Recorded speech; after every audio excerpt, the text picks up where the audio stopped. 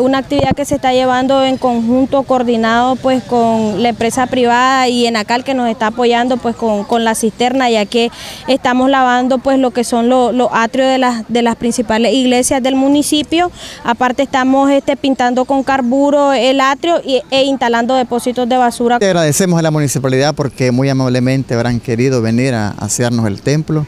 Es una obra buena para en estos días que esté lista nuestro templo para la afluencia de nuestros fieles católicos. Gracias a la alcaldía municipal, al señor alcalde, por esta iniciativa que la, la aplaudimos, la valoramos y esperamos que sea con mucho mayor frecuencia. Pues eso está bien que se preocupen por, los templos. Me parece maravilloso, ya que nosotros los mismos ciudadanos descuidamos los templos, los ocupamos para cualquier otra cosa menos para, para lo que sirve.